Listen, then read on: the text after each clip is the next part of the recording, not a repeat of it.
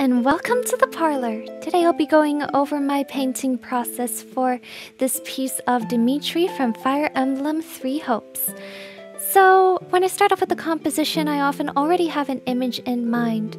In this case, it was Dimitri from a low angle, looking very kingly, holding a banner that would have the Faerghus flag on it, and um, with a lion in the background. And then I decided to add um, this motif of skulls and flowers, which is one of my favorites because it represents life and death. So here we have a lot of bones and flowers in the foreground, we have paint splashes, we have a lion, and later I would actually swap out this uh, flag for Areadbhar, his weapon, um, just because the flag is kind of off in the corner and it would take too much attention if it had this complicated crest on it. So I decided maybe it would just be best to scrap it and instead um, have his weapon be there. That way we don't have too many things competing for visual attention in the center of the piece. So once the composition sketch is done, I'm just going in, adding more details and kind of getting a form um, of the piece. We're correcting some of the anatomy, we're adding facial structure, and we are fixing any errors along the way. From there, I start building um, cleaner lines out of the sketch. I will often just draw directly on the sketch layer and erase directly on it. Once the line art is complete, I'm now going back onto the rest of the canvas and kind of tidying up the composition. I'm adding in some flat colors uh, I add in a little of a color wash and start making some rough brush strokes um, in the background with some different colors. Uh, I found pretty early on this cyan and gold combination, which will end up looking really nice. Once I have a general idea for the background and I have some of the basic lighting down, it's time for me to make a grayscale map of uh, the character to see how the character fits in with the lighting. And I like to have the background painted in before I start doing this for the character just to see how the lighting will turn out and to make everything mesh together smoothly. When the grayscale map is done on the character, I create a new layer in overlay mode and start adding colors um, using this overlay mode. This helps me change out colors as I need to, and I also find it gives a pretty organic result compared to uh, just trying to paint over my light map. Once the overlay layer is complete, it's time to start merging it down and painting in details. So I merged down the overlay layer onto the grayscale map and I go in and I just kind of start manually painting in details like the skin, the hair, I go over and color the line art.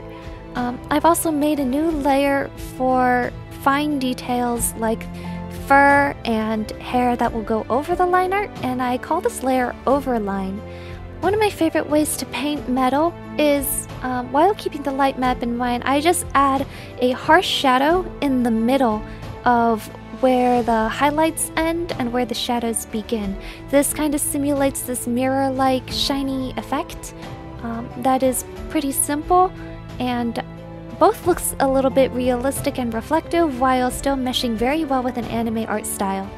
Now that most of the character is shaded, we're gonna go to the foreground and the background and start adding in a few details, add some basic shading and lighting, and just kind of get a feel for how the whole piece is going to look as a whole.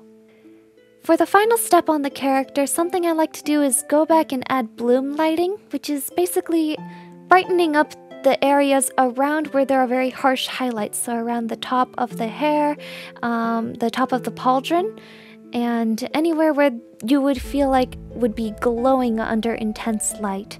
Now, usually I do this actually with an airbrush, a soft airbrush to give a kind of iridescent camera glow.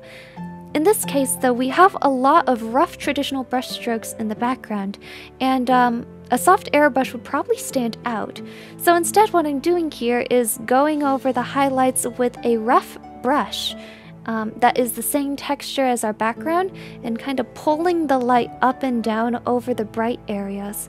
And this will help kind of add that bloom lighting while still making sure the highlights mesh in correctly with the piece. Once the lighting on the character is finalized, it's time to go back and just add a bunch of details to the foreground Usually, the closer to the edge that foreground and background details get, the blurrier and less detailed they'll become. Um, first of all, it just saves you a lot of trouble. and then, second of all, um, you don't want too much stuff at the edge competing for visual interest of the center of your piece, so often it'll be a little more blurry or indistinct. We're doing the same thing as we did on the character, which is using a rough brush to add a little bit of texture and bloom light onto our foreground and background. Again, just to mesh everything and make sure it all plays nicely together. With the foreground out of the way, it's now time to add the finishing touches with this lion element in the back. No, at first I wasn't sure what I wanted to do. I know I wanted it to be very rough because I wanted to keep these um, blue paint strokes. I thought that was a very striking image. And I also wanted to make sure all the focus on the piece would be on Dimitri and not some photorealistic lion just suddenly pouncing out of the background.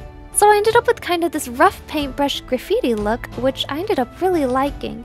And I added some um, striking blue areas to the lion, such as blood dripping off the teeth, and these kind of blue tears coming out of its eye. We add some finishing touches with lighting, a few more paint strokes, and then one final golden whirl that sort of looks like a signature. And that is our piece. Thank you for joining me on this speed paint. I hope that it was helpful in some way and helped you learn something.